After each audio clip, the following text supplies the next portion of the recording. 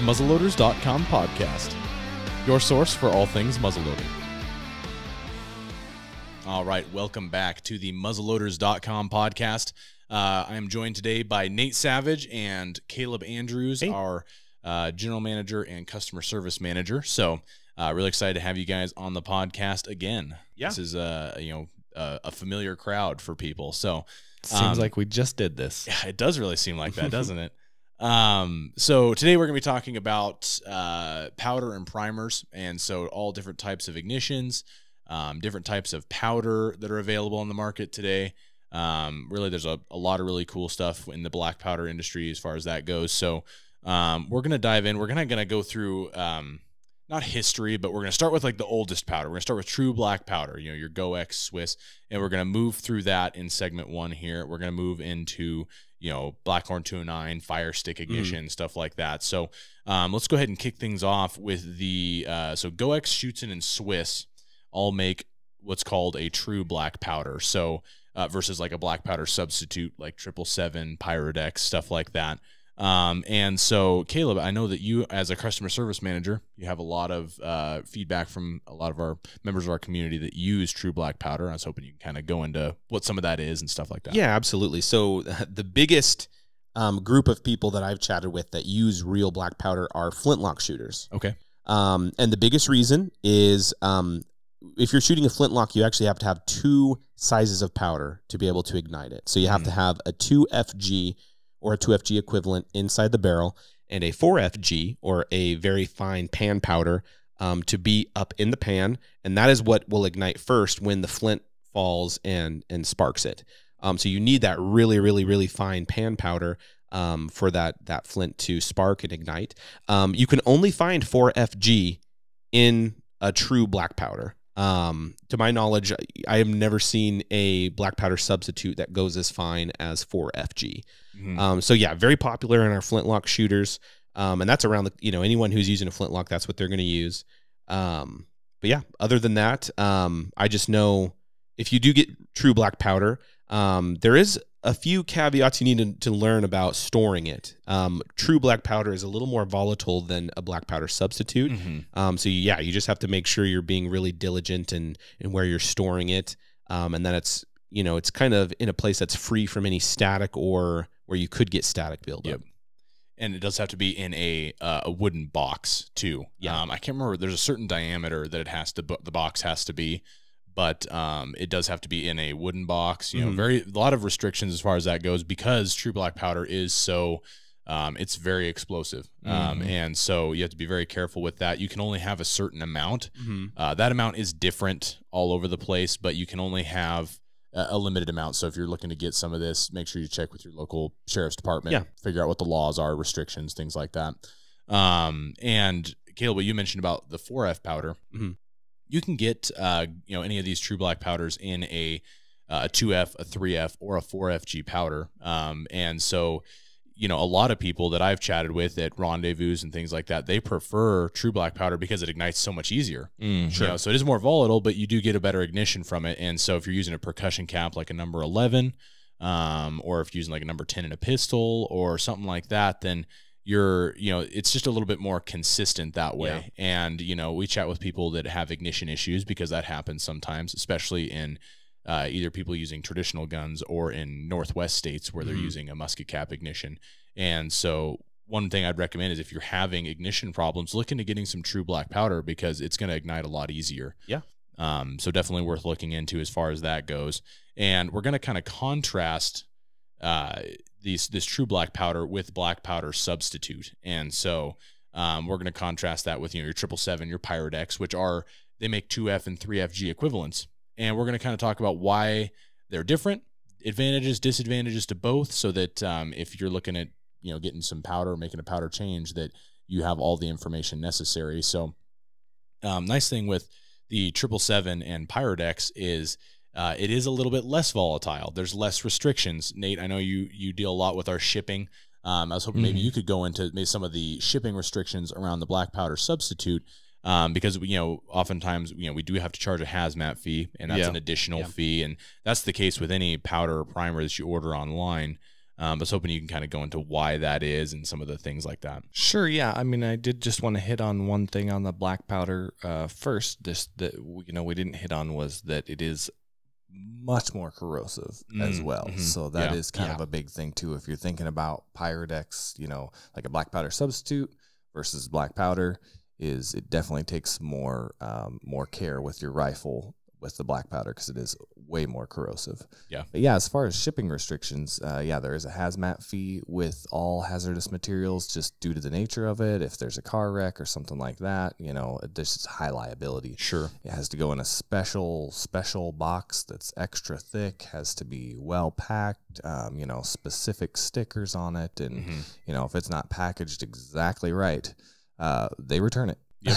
they Yep, we return it back to us, and then we get to ship it again. So, uh, yeah, there is a lot that goes that goes on with with shipping those. So Yeah. Yeah. and that's that's with the black powder substitute. Yeah. and with true black powder, there's even more Yes. restrictions. And um, you know, one thing to think about is oftentimes going directly through a company like Goex is your best bet as far as getting that because it's difficult to find dealers that not only have it because of all the storage restrictions, but also are able to ship it. Um, and so you know that's something to keep in mind too if you're looking going that way.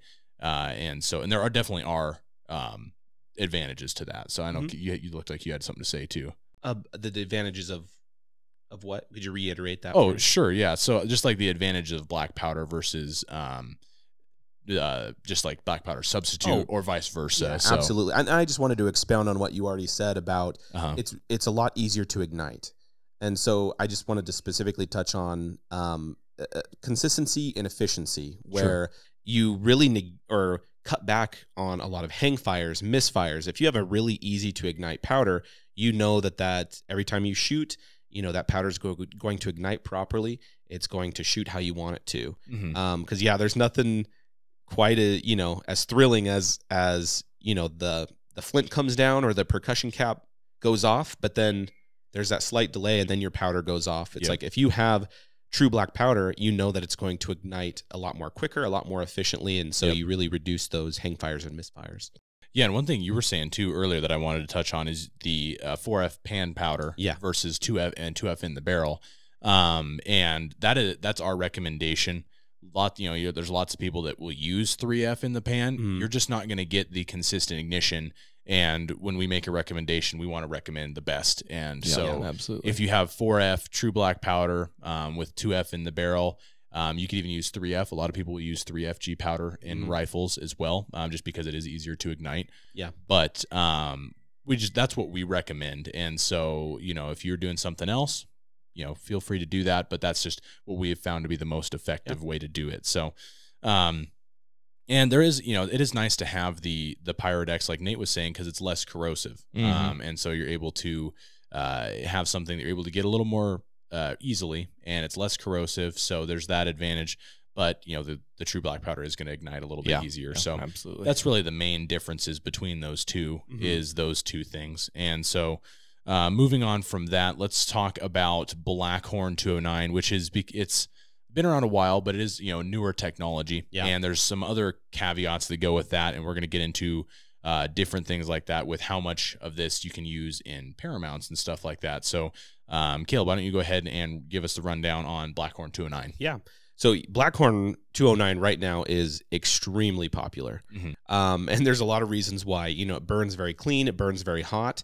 Um, however, there are a few um, kind of nuances that you need to know about before you start using it. Um, it is a modern powder that you would use like in a modern inline um, because it has a very high heat tolerance. Um, a lot of ignition systems won't be able to ignite it properly. Yeah. Mm, yep. So we recommend using Blackhorn 209 with a 209 or a large rifle primer ignition muzzleloader. Um, and you need to make sure that if you're using a 209 ignition, to use a 209 Magnum primer. Yep. Um, that's going to give you the best um, efficient ignition. Um, if you're using Blackhorn 209 in a flintlock or any sort of percussion cap, like a number 11, number 10, or a musket, you will probably run into some hangfire misfire issues just because they're just not hot enough to Mhm. to ignite it properly You're gonna be frustrated. yeah and yeah exactly and and even on the customer service end i've chatted with a lot of members of our um, muzzleloaders community who um, we're using a 209 ignition with Blackhorn, having hang fires, having misfires. Like you said, very Mhm. frustrated. All they had to do it was upgrade to a, a 209 Magnum primer. Mm-hmm. Took care of all of their ignition Yeah, issues. just that little Yeah. extra bit of heat. oh, absolutely. Yeah. Yeah. Um, so along with that, as far as just because Blackhorn 209 is really efficient as well, you actually have to dial back your charges by 20% when comparing it to a standard load of say like 777 or Pyrodex. So simply said, that just means if you're trying to get a standard 100 grain charge per volume, that is only 80 grains of Blackhorn per volume. Mhm. Um, and it's equivalent. So you, you can already see, you know, Blackhorn is really efficient. You can dial back your charge by 20% and it will be the equivalent to, you know, standard load. And I just Yep. wanted to reiterate that he said by volume. Yes. volume. Yeah. you could say that again by volume. Yeah. it's very Yeah. important. Wait, now that that does bring up the question: is with Blackhorn 209, it's becoming increasingly popular to measure by weight. Yes. Um, and so we have a few of the weight measurements here, and so I wanted to uh, go over some of those. So, in a standard Magnum muzzleloader, like Caleb was saying, 120 grains of Blackhorn by volume is going to be your maximum charge. Mhm. Um, if you wanted to weigh that out, that's 84 grains by weight. And so, uh, you know, and when you're weighing that out, and so another another popular charge, you have 80, 100, and 120. So those are your main popular charges with Blackhorn 209 um, by volume. So if you're wanting to go with a volumetric measurement or a weight measurement to that, 80 grains by volume is equivalent to 56 grains by weight. So they are not the same by any means. Um, you know, Yeah. if you put 120 grains by weight in your muzzleloader, you're going to have a very bad day. Gonna have a bad time. Yeah, and so yeah, don't do that. Um, but you know, honestly, volumetric measurements has kind of been the standard for a long time. yeah. and you know, only recently is the uh, weight measurements kind of taking on popularity with the extra precision, people wanting to Mhm. shoot longer distances and all that stuff. Yeah, I think that kind of goes with the newer inline stuff and people wanting to be really precise and Sure. shoot those, Yeah. you know, five, six, seven, eight hundred yard shots. So, Yeah, absolutely. And I mean, you know, we were talking about recently about how the long range muzzle loading has been really kicking up, and being able to measure by weight is much more Mhm. precise, and you're able to make sure you're shooting the same charge every time, so it's the same. Yeah.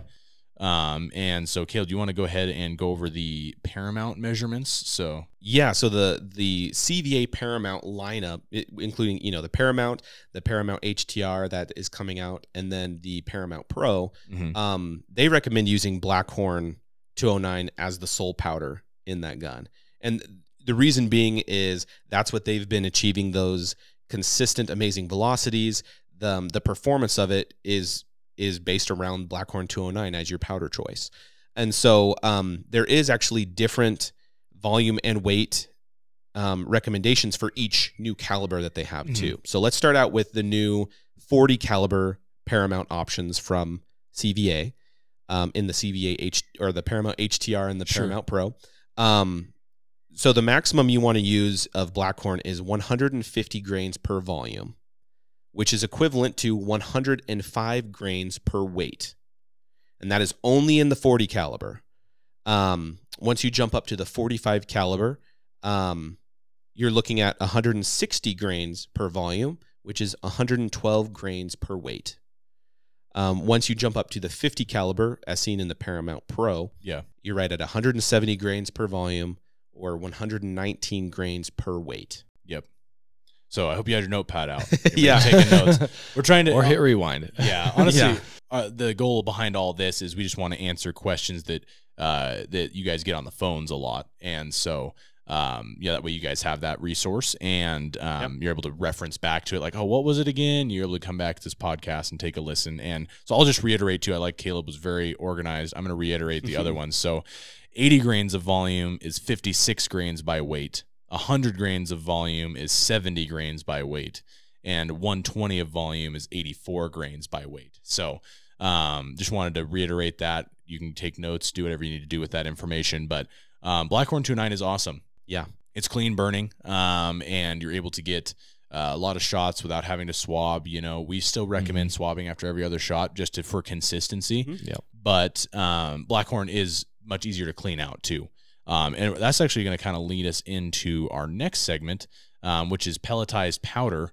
And um, we're actually going to have uh, Caleb kind of dive into that as well, which is some of the different pellets that we recommend and the difference specifically between pelletized powder and loose powder, you know, advantages, Yeah. disadvantages. So, Yes, that- that's that's one of the big, biggest questions that I answer is, hey, what kind of powder should I use? Do I use pelletized? Do I use loose powder? And there's pros and cons to both. Mhm. Really, a lot of it boils down to personal preference. Once you're educated, it's like, oh, this is the route I want to go, or like state regulations. State regulations, sure. Yep. State regulations. A lot of states, um, including Oregon, Idaho, and Colorado, just to name a few, benefit the best with with loose powder and that's what the state regulation requires and so obviously there's a ton of technical information to dive in there but yeah as far as just the biggest differences between pelletized powder and and loose powder is pelletized powder is preformed Yep. it is already measured out for you generally in a 50 grain increment Uh-huh. not all the time but Yeah. but generally and so really you can throw two 50 grain pellets down your your barrel throw a bullet on top of it and you're loaded. You don't have to worry about Mhm. a powder measure or a powder flask. It's it's just pre-pressed into a preformed pellet. Mhm. now obviously the pros to that is it's easy. It's efficient. You don't have to spend as much time and money getting accessories to allow you to measure powder. Um, you can just get easily um, you know on target at the range or in a hunting scenario um, the takeaway or i would say the con to that is you're not getting that precision right Yeah. like 100 grains will work great in most scenarios but what if your gun really likes 105 110 grains. Sure. uh, Yep. there's not really the versatility that you get with measuring out your powder consistently Mhm. um, and so r- really that's that's the biggest thing um, with loose powder you do have to put a little more legwork into it you are actively measuring out the powder in one form or another if you're putting it in a speed loader or just right down the barrel you always have to pre-measure it Yeah. And there are different types of pelletized powders as well that react differently. Oh, to, yeah. like mm-hmm. IMR White Hots or you know Pyrodex or Triple Seven or whatever you're going to be using, or the Fire Stars. You know that's a Yeah. popular one as well. So Absolutely. Um, so with that, we're about out of time for this uh, section. We're going to take a quick break. We are going to dive back into pellets at the very next section. So stay tuned. We're going to go over some more of the IMR White Hots, Fire Stars, things like that. So stay tuned. All right, thanks for bearing with us through that break. Um, we're going to dive right back into it with the pelletized powder. Nate touched on it before our break about the uh, you know different types. We had the Fire Stars, the uh, IMR White Hots, all those different types that do all do different things. You also have triple seven Pyrodex. They make pellets. There's triple seven Magnum pellets. There's all kinds of stuff out there. Yeah. Um, and one thing I did want to mention, Caleb did a good job of this. Is um, you know, rec- we recommend pelletized powder to people that are uh, honestly just getting started too. It's a Mhm. great thing if you're just getting started because you can one you can save some money on loading supplies on the front end, and then two, um, you can uh, it- it's just easier. You don't have to worry Mhm. about measuring your loose Yeah. powder. You don't have to worry about you know speed loaders and all that stuff. You just have your pelletized powder. You're able to toss it down the barrel, um, so it's really good that way. But um, Caleb I was hoping you can dive into some of the differences between like you know the IMR White Hots and Fire Stars, for instance. Oh, sure, absolutely. So, yeah, the IMR White Hots, uh, for me, my personal opinion, um, they're very efficient. and They burn very hot. Um, again, they're they're only in 50 grain increments, so you're getting either a 100 grain charge or a 150 grain charge per volume, which is good. You know, 150 grain charge of White Hots is going to be your Magnum load anyway. Um, and so the Fire Stars are really unique because um, when they came out, they're a 33 grain pellet Mm-hmm. and you can put up to five pellets in there as per the manufacturer recommendation of course and that's going to be your magnum load so because they're a smaller grained pellet you can put up to five um, and they have a very unique design they look like a star they have Mhm. almost like these ridges that go around the outside and that's just going to help with efficiency is when that when that primer ignites you know the fire is going to efficiently ignite all five of the pellets at the same time Uh-huh. which just transfers into a more precise, efficient ignition. Yeah, absolutely. And um, one thing I noticed, I was we had some muzzle loaders that uh, hadn't been cleaned in a while, and you know some of them were shot, you know, with different types of powder. One of them was with IMR White Hots, and I noticed like, man, this thing is dirty. Like it was Mhm. caked on there, like it just hadn't been cleaned in a long time. And I was going through and cleaning it, And I was like, oh, this, this is probably not going to be good. You know, it just needs to be clean. And I was I, the breech plug just had caked on residue and Mhm. stuff. I threw that in a part soaker, and I ran a few patches down the barrel, and the barrel was filthy, but it was clean within just a few swabs. You know, and same thing with the breech plug. Like it, uh, you know, after being in the solvent, you know, you shake it around and you pull it out, and it was clean. And so I think that's really cool about the IMR White Hots being clean burning. Um, Yeah. is really the big thing with those. Um, and uh, you know, we really like those. We highly recommend those. Yeah. Um, and so I guess talking about pellets versus loose powder, I mean, they both have their their place, and I think that you know you have pelletized powder, you have loose powder measured by volume, and you have loose powder measured by weight. Mhm. And so those are just different levels of preciseness. And um, you know, the pelletized powder is still very precise. It's going to perform the same, but um, the tough thing is it is already preformed. So if you want to shoot, you know, like IMR White Hots come in a 50 grain increments, so you could shoot 100 or 150. You can't really go in between unless you mix and match.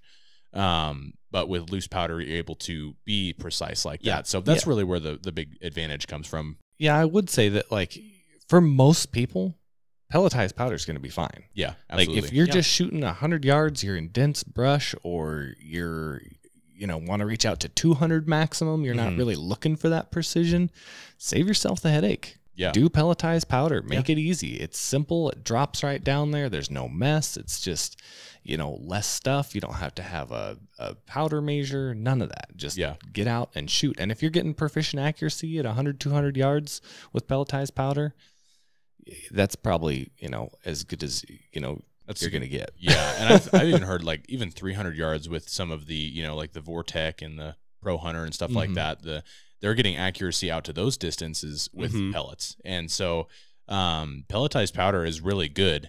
Um, it's just you don't quite have the versatility. Yeah. and Yeah. so um, there's really advantages to both. They're both all of these powders have their spot, but um, that's kind of the the information there. Um, and then also kind of something that's a very recent development is the fire stick ignition that's in the nitro fire. Um, that's like a encapsulated, you know, uh, charge. Mm-hmm. It's pre-measured. You have 100 and 120 grains, um, and it is similar in uh, composition to Blackhorn in performance, I should say. Yeah. Um, so you're gonna you have 120 is gonna be your magnum load, um, and so uh, Nate, I know you really like that design and have a lot of good information. I was hoping you could dive into that one. So Yeah, absolutely. One of the cool things about the uh, fire sticks is they're just, it's a whole new powder designed specifically for this application. You know, Mhm. tri- Yep. it's called Triple Eight uh, powder. It's, uh, you know, like you said, a whole lot closer to Blackhorn than, than anything else. And just a, a really solid, um, high um, efficiency powder. yeah, Uh, the other cool thing about the fire sticks is, you know, its unique design uh, allows you to not have to worry about moisture. You know, if you drop that thing in the snow, it's completely sealed. You know, until Yeah. that primer goes off in the back and busts through that tiny little barrier, Mhm. it's completely sealed. You know, you drop it in Yeah. the snow or whatever, it's still good to go. Um, just a really unique design, Yeah. and I think it adds a lot to the uh, muzzleloader lineup.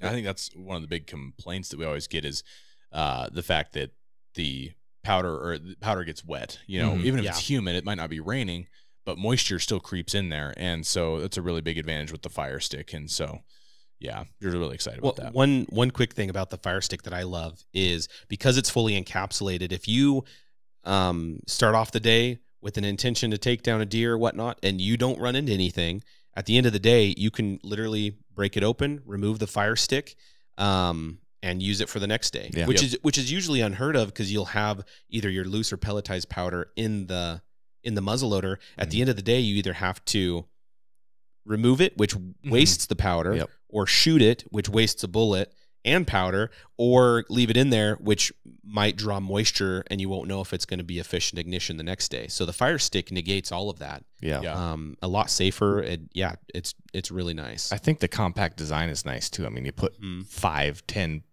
fire sticks in your pocket, and it's no big deal, as Yep. opposed to Yeah. having like those preloaders or whatever. They're Oh, pretty sure. cumbersome, you know. Mhm. hmm And it's cool because it it kind of harkens back to the older technology of using paper cartridges, Yeah. which there's a lot of cool history behind Mhm. paper cartridges and stuff like that. And so you get something that's it's you know similar in design. We've seen things like it, but it's kind of a, a modern twist.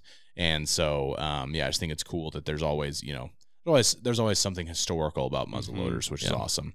Um, and so yeah, really excited about that. And moving forward, we're going to be talking about uh, our tech tip of the day, which is going to be proper powder storage. Um, and so that's a question we get a lot. How Yep. long will powder last?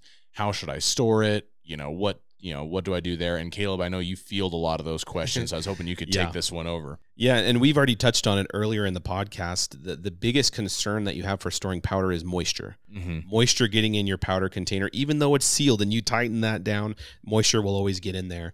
Um, so, yeah, the biggest thing that I would recommend is storing it in a very dry location um, with the help of a dehumidifier or silica packets.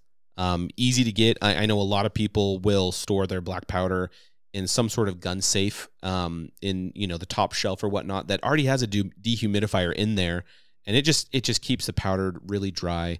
Um, and powder will last quite a long time.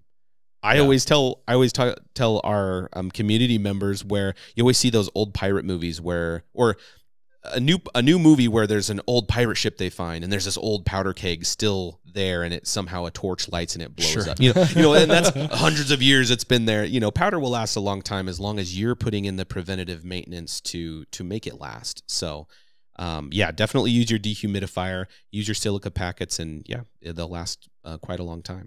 yeah, I think that's that's an important thing. And I, Nate, you uh, are really into reloading as well, and so you store quite a bit of you know just smokeless powder. Um, and uh, the storage, I mean, honestly, the storage is similar. So how do you keep uh, moisture out of your your powders? Shh, don't tell anybody I got lots of powder. It's, it's 2021, man. It's a- uh, you know, uh, same thing. I, I like I use a dehumidifier a lot. Uh-huh. You know, I have a I have a massive dehumidifier where I keep my my powder and stuff. And like you said in a previous podcast, i it's amazing how much Yeah. water comes out of the air. You know, It's- Mhm. Yeah. it just uh, buckets and buckets of it. So yeah, a dehumidifier is essential, I think, for keeping powder stored. Absolutely. And I do want to make one thing clear, but uh, before we move on to our percussion caps, uh, is with powder, we get a lot of questions like, can you use smokeless powder in a muzzleloader? And uh, the question, the answer to that is is no. You know, most muzzleloaders are not designed for that, um, and so you know, there's really no reason you should be using that in your muzzleloader. It's very unsafe. And so uh, I just want to make sure we mention that as well Yeah. because you know we are you know we talk about smokeless powder and stuff like that on on the podcast sometimes, but it's never in in reference to use with a muzzleloader. Yeah, Um, absolutely. There's some great videos on YouTube of what happens if you do. Yeah. use And, smokeless and I powder. reiterate, I always tell customers if when they ask me that, I say no, absolutely not. Yes. Like that might seem harsh, like I might be coming across very harsh, but I, I need to be. It can be very dangerous if you use smokeless powder in those. So we just want people to be them. safe. Oh, So- absolutely. Yeah, well, it's because we care about them. Yeah. know? and so it's like you know, absolutely not, never, never use that. Um, and so uh, with that, we'll kind of close the book on our uh, powder conversation. I do want to talk about percussion caps as well. Percussion caps, different styles of ignition. Well, that's 209, and Caleb did touch on some of that earlier Mhm. uh, with the Blackhorn. Um, but uh, something I want to talk about is the difference between specifically percussion caps. You have number 10, number 11, and musket caps, um, which all are different. They all have different applications. And so, uh, you know, typically your number 10s are going to be on pistols and stuff like that. And so, Nate, I know that uh, was wondering if you wanted to do that section of it. Uh, yeah, so I obviously started off muzzleloader hunting um, using a side lock with number 11s uh, and uh, had a lot of disappointment with that. Not that they're a bad ignition source. It's just that I was new to, to muzzleloader Sure. hunting and, uh, you know, had a lot of just pop. No ignition, deer Yeah. goes running off. So Yeah. yeah, the uh, and the number eleven, you know, a lot of uh, side locks can be converted from number 11s to the musket caps, which are a little bit hotter ignition, you know, Mhm. uh, a little bit easier to grab. You know, Mhm. some people have issues with those number 11s and how small they are. Sure. Hard to get a hold of, or you open up the box and most of them come in a little tin thing, and, you pop, and then 50 of them land on the ground, and there's deer in front of you. you- Sure, yeah. Anyway, uh, yeah. So uh, there are different types of number 11s as well. There's Magnum number 11s, which also help your ignition a little bit. Um, Mhm. If you're using a true black powder, uh, you're you're not obviously not going to have as many misfires with the number 11s as if you're using a Pyrodex or, or FFG or Triple F or whatever Yeah. you're using as a substitute. So yeah, I mean those are a little bit of the differences there between the two. Yeah. And then um, number 10s, oftentimes we get a lot of confusion, you know, on the phones with Mhm. number Mhm. 10s versus number 11s. And number 10s are specifically for pistols. So a lot of times your revolvers are going to use Mhm. number 10s. Um, and, you know, occasionally like a Derringer will. Oftentimes the Derringers will even use a number 11. Yeah. But revolvers are the big one that uses the number 10s. And so it's just important to to look into that and and know what your muzzleloader shoots. So I, Mhm. I've had a lot of confusion um, with community members where they're like, "Oh yeah, a number eleven percussion musket cap." It's like, no, no, the number eleven is its own cap, and the musket cap is different. Yeah. And as kind of you expounded on, Nate, the the number eleven, you do see a lot of traditional style percussion muzzleloaders use that. Yep. Um, and the musket caps are larger. They're a larger cap. They require a larger nipple. Um, a lot of the, I would say, if not all of the modern Northwest ignition rifles um, will feature a musket cap. Mhm. Um, the, the Now. musket Yeah. now they will exactly yes, and there's always um, a few oddballs in there, but yeah, now they've they've upgraded a lot of those in the CVA and traditions line to have a musket cap. They're just a lot bigger. They like you said, they burn a lot hotter, and you're able to you know Actually grab those- them. Yeah, they actually grab them, Yeah. and yeah, so there there is a difference between number 11s and musket caps, which a lot of people get get mixed up. So Yeah, and then within musket caps, there's even some difference to where Yeah. there, there's some musket yeah. caps that are designed for shooting and hunting purposes, and then there's some musket caps that are designed for like reenacting purposes. Mhm. And so if you know if you get those confused, you'll have a lot of, uh, like Nate was saying, you'll have a lot of pop and nothing, you know, Mhm. because they're just designed, they're just have a different purpose, you know, and so um, just make sure you're getting the correct ones Yeah. for those. Um, and then also kind of doing the same thing as we do with the powder, kind of moving from oldest to newest. Uh, 209 primers, you know, that's that's a big one right now. Hard to find, yeah, really important. Um, uh, most modern inlines are going to use a 209 primer ignition, um, and so and there's lots of different varieties of those. Right now, we've been recommending like if you see any primers, 209 primers, pick them up. You know, Yeah. something's better than nothing. You know, yeah, and so um, just excited about uh, you know being able to talk about those. So, and I know a lot of our customers have questions about 209 Yeah. primers and things like that. So, Yeah, so um, 209 ignition, like you said, is kind of the standard now for for modern inline muzzleloaders. Um, I always recommend a 209 Magnum um, cap or primer just because they ignite a little bit hotter. That's what I recommend for using Blackhorn 209 or if you're using any pelletized powder, just because they have that higher th- heat threshold, you need a slightly hotter ignition to properly ignite them. Yeah. Yep. Um, not all the time, but even if you think like, oh well, one out of a hundred times I'm going to get a hang fire, it's like it's not worth it for me because that's going to be the time where you have that once in a lifetime bull elk or deer in front of you, and that's the one in a hundredth time that you have the that hang fire. So always get that that magnum primer in those scenarios.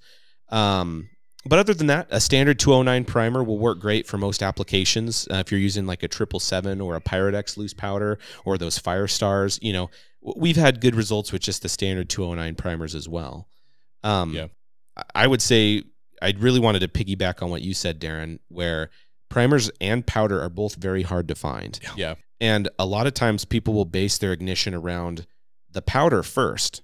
I would actually just be cautious of doing the opposite. Try to find what primers you can find first because there is going to be a powder that will work with the primer, Mhm. but not always the inverse. Because if you if you're like, hey, I found some blackhorn, but if you can't find a magnum primer, you might have a very hard time igniting the powder you bought. But if you Yeah. buy a primer, no matter which primer that you find, you can find a loose powder that will accommodate that. Yeah. Mhm. yeah, it's definitely good stuff right there. Um, we're gonna jump to a break. Yep. Uh, we're gonna have we have one more ignition system to go over, and then uh, we'll be just about ready to wrap things up. So just stay tuned. We have some good stuff.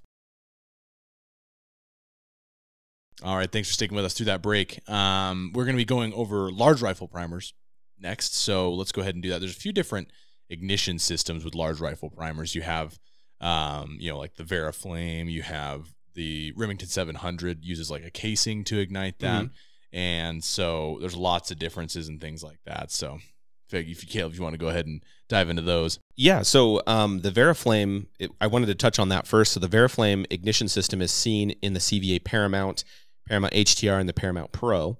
Um, and it's it's an amazing system. So you basically have this little metal adapter which the large rifle primer sits into, and then you put that into the bolt or the, the ignition, right? Um, and that's it. So so what that little metal adapter is is it channels the full force of the large rifle primer in through the flash hole into where your powder's stored. And since you're most likely using Blackhorn 209, that's going to create that really hot, really efficient ignition. Um, and you're not getting a lot of you're you're not getting as much blowback because mm-hmm. that little metal adapter is channeling all of the fire into where the powder is. Um, and so yeah, it's a great design. I know all of the the Paramounts who use the Veriflame um, will have kits to to help you press the the primers into the the Veriflame adapters and allow you to um, get the spent primers out of the adapters and all that good stuff. Oh, but, oh yeah, um, yeah, it's just a very very efficient system. Yeah, absolutely. Especially when you're trying to ignite those larger quantities of Blackhorn. Oh yeah, you need to make sure you have a good efficient ignition for it. Um, and so, yeah, large rifle primer ignition's really great. So, with that, I think we're going to jump into our product of the day, which is the Thompson Center Muzz Charger. And uh, really awesome product. Uh, it's been around for a couple of years and just does a lot of really cool stuff. Uh, you're able to reload really quickly. And so uh, Nate has some stuff prepared that he wanted to go over with this one because I know he's a huge fan of this product. So Sure, yeah, this is just a great product. It allows you to store up to three pre-charged charges in there uh, with the bullet already in there. It's got a mm. rod on it already, so you can just put it on the barrel. As soon as you turn that onto the barrel, it is going to dump whatever whatever contents is in there into the barrel. So you want to make sure you don't turn it and then put it over on the barrel or it'll end up on the ground. Sure. Yeah. But yeah, so you put it on there, you turn it, and you just push that rod down and it puts everything in there. Uh, no need for a bullet starter or anything like that. It's all integrated. Uh, super cool design. And, and uh, you know, like I said, it allows you to store up to three charges, uh, which is really cool. Yeah, that is awesome. Um, it's really awesome product. Able to reload really quickly. Um, it's going to shave a lot of time off your reloads. So, uh, with that, we're going to wrap things up. Really appreciate you guys joining us. If you have any questions in regards to this, I know we had a lot of really technical data today. Um, so if you have any questions in regards to that, give us a call, shoot us an email. We're always happy to chat, answer any questions that you have. And uh, remember, shoot straight, shoot often, and have a blessed week, everybody.